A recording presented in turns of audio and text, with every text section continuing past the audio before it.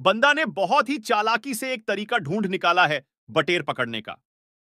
उसने एक जाल तैयार किया, जिसमें बटेर पक्षी को आसानी से पकड़ा जा सके। लेकिन इसमें उसने खासकर ध्यान दिया कि जाल में डाले हुए दाने भी हों, जिससे बटेर आकर उन्हें खाने लगे और उन्हें दाने खाते खाते इतना खो जाए कि वे जाल में गिरने लगे।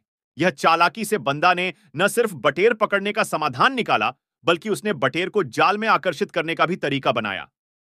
इसीलिए इस जुगाड़ के लिए एक लाइक बन